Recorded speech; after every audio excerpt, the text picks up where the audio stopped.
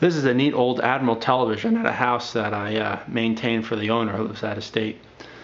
It's pretty cool. I think it's from 1968 or 69. It's a particle board, looks like. Um, the front's got actual wood on it.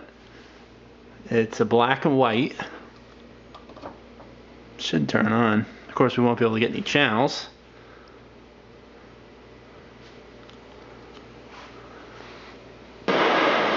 There we go.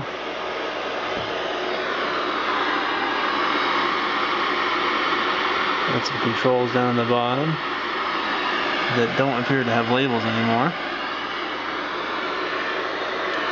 Cool tuning dial.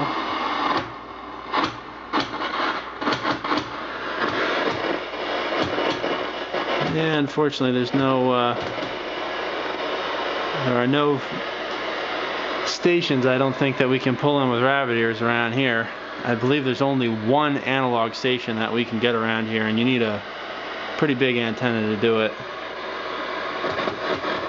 Let's see, how do you even get to the VHF on this, or UHF on this thing? Oh, there we go. How the hell does that work? Oh, then you turn this dial. Oh, that's weird.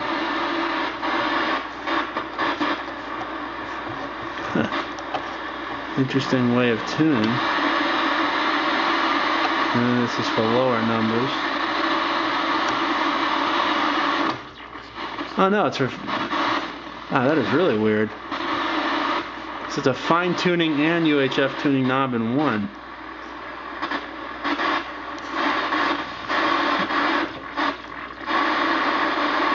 Huh. I like the index tuners better. Although I guess this helps you flip through them fast. Huh.